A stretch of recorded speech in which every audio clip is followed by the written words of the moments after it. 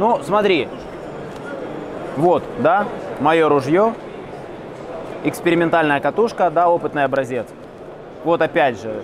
То есть тут есть большая статья, где я, ну, там все рыбы, которые я застрелил с этим ружьем, с этой катушкой. И давай я тебе просто вот расскажу. Вот это уже, грубо говоря, конечная версия. Мы видим, она такая красивая, оранжевая уже.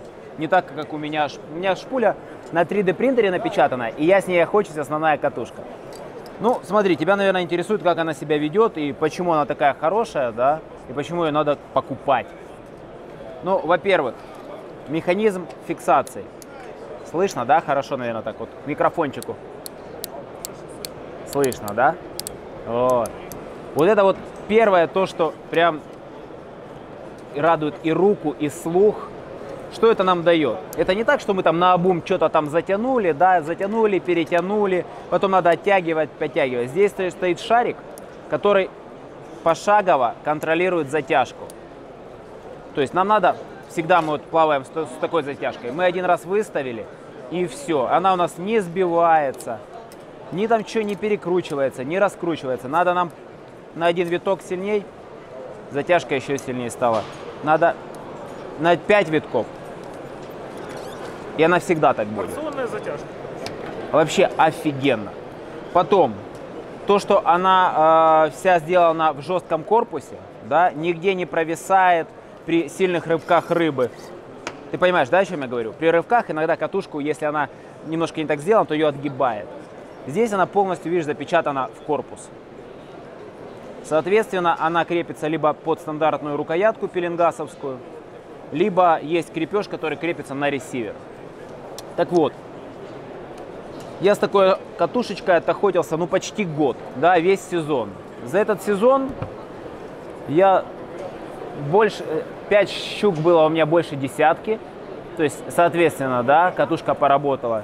Какой-то, ну, не могу посчитать, сколько было самов, всяко разных. Э, что я тебе могу сказать? Вот я плавал каждый раз и думал, как все хорошо. Вернее, я, если я ни о чем не думаю, значит все хорошо.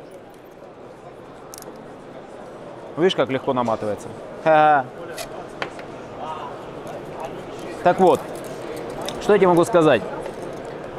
Когда Оля и Дима мне звонили и спрашивали, Саша, что поменять, что поменять, что поменять? И, ну, поскольку ты знаешь, у меня работа такая, да, говорить людям, что где поменять надо, чтобы это стало лучше, то всегда был, был один и тот же ответ. Главное, ничего не трогать, ничего не меняйте.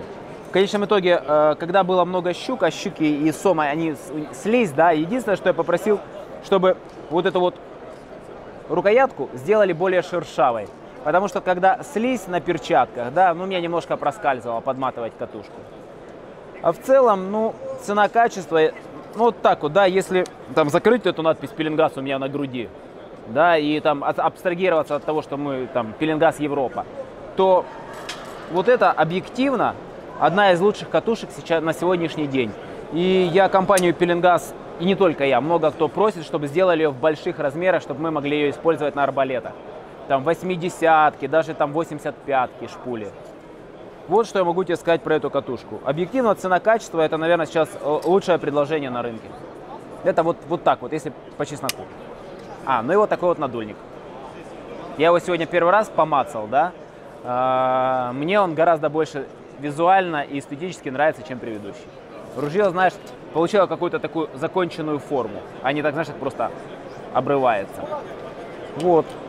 Еще была одна катушка на тестах. Конечно, э, ну, эта катушка у меня стояла как основная, и я с ней там целый год практически охотился. Была еще вот такая катушка для тестов, когда на самом деле компания Пеленгаз, Оль, я не совру, если я скажу, что вы не совсем хотели и думали, что это не стоит выпускать на рынок когда-то. Да, да, да, потому что мы отправили на тесты, как оказалось, не охотнику. А, Человек нет. рассказывал, что он охотник, оказался не охотник. И он сказал, ой, не стоит. Так вот, а, Дима сбросил мне а, фотографию вот этой катушки а, в Вайбере. Я говорю, Дима, быстро пришли на тест. Это офигенная идея уводить линь на бок. Я не охочусь, ну, вот в, в таком варианте, но у меня куча друзей, да, и там и на Украине, и на Днепре, которые охотятся вот в такой комплектации ружья.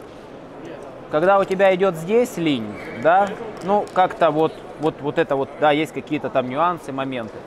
Но когда у тебя линь сразу выходит на бок, на бок, да, отсюда, и тебе удобно укладывать, тебе ничего не мешает, вроде бы просто, но офигенно практично.